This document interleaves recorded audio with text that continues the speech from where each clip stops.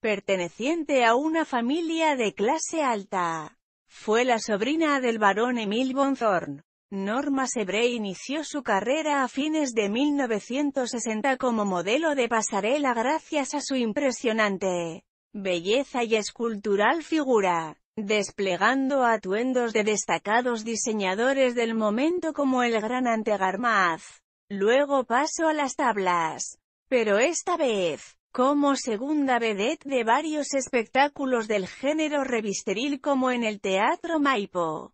Se hizo conocida en 1970 debido a un aviso publicitario de la caña a Carlos Gardel en la que, sedienta, le decía a su acompañante la frase, me bajas la caña.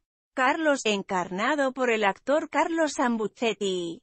Finalmente ante el revuelo público dicho comercial fue prohibido.